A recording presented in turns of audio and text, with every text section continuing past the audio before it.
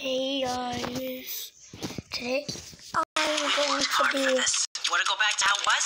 I'd rather die than go back to the kitchen.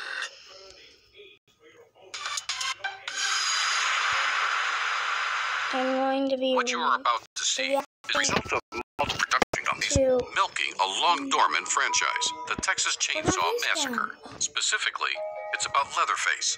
In 1974, he slashed his way onto the silver screen, and he's since appeared in seven more films. This is his evolution. Animated.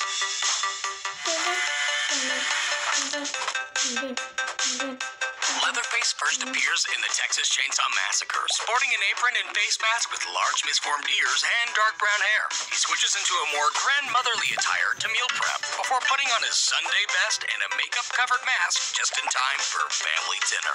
In the sequel, which takes place 13 years later, Leatherface is thinner and wears a heavily stitched mask with messy hair and a fancy tuxedo. He falls in love with a radio DJ, but the romance is interrupted when he faces off against a vengeful lieutenant, resulting in an explosion no man could survive.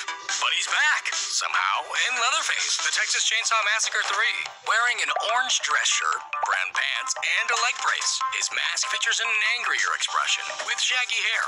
This time, Leatherface has a young daughter he's raising, but he gets hit with a rock, then drowns in the swamp. But his death is short-lived, and in Texas Chainsaw Massacre, The Next Generation, Leatherface is now chunkier and has longer, curlier hair poking through a darker mask. He wears a long white tee, a camo jacket, and an orange apron.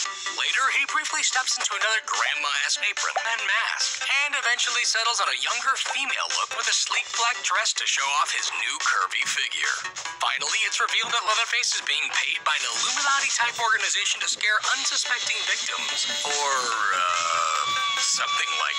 But it doesn't matter, because this timeline would be forgotten for a reboot series. Starting with the reboot prequel, The Texas Chainsaw Massacre, The Beginning, we see a baby Leatherface, apparently born with a skin disorder, get tossed into a dumpster. He's saved from the garbage and grows into a muscular man wearing a leather muzzle to cover his face. After getting fired from his slaughterhouse job, he fashions a young male mask with curly hair. In the original reboot, Leatherface's hair is shorter, his clothes darker and ragged, and he's wearing arm protectors. His mask is gray with a furrowed brow, and for a short while, he also dons a mustachioed mask. Despite losing an arm, he leaves a quick video behind before disappearing forever. The reboots would be dropped in order to make a direct sequel to the original. Picking up where the first movie left off, Leatherface is shown once again in a slightly altered Sunday best ensemble. When his house is set on fire, he's assumed to be dead, only to reappear 40 years later.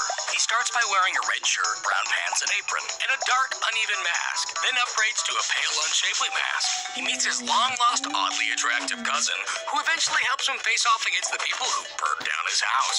The origin film, Leatherface, depicts a young child Leatherface wearing a cow head. He's tossed into an institution and grows into a large young man built exactly how we remember him. Uh, oops, uh, never mind, that's the wrong character. He's actually this skinny, handsome boy. He falls for an attractive nurse and breaks out of the institution. When his face becomes disfigured, he decides to, shall we say, act out and start wearing skin masks because, well, he's angry, I guess. I don't know, I'm just waiting for the prequel sequel where he grows six inches and gains 200 pounds to become the Leatherface we actually care about.